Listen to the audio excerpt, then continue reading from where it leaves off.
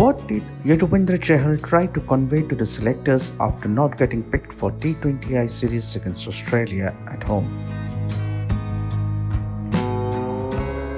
The National Selection Committee headed by Ajit Agarkar has sparked a debate by not picking leg spinner Yuzvendra Chahal for the upcoming five-match T20I series against Australia. The leg spinner has been getting a raw deal from the selectors recently. Chahal was not selected in the World Cup squad as well, raising a serious question about his white ball future. The selectors instead picked Washington Sundar, Akshar Patel and Ravi Bishnoi as the three specialist spinners for the T20I series against the Aussies. Chahal who has taken 96 wickets at an average of 25.09 in 80 T20 internationals, posted a smiling emoji on Twitter.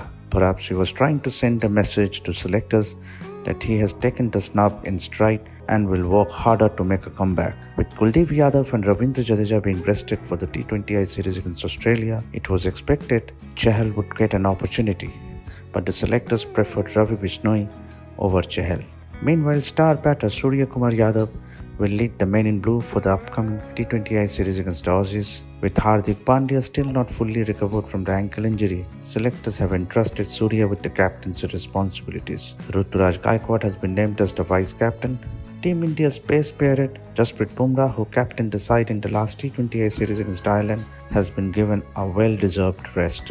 Bumrah's absence presents an opportunity for other players to step up and make significant contributions to the team's success in the upcoming series against Australia.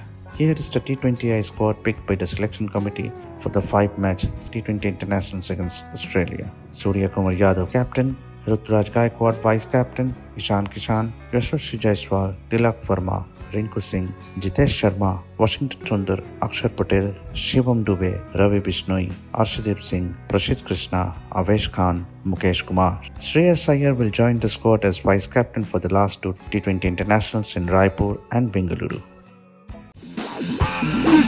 Extra time.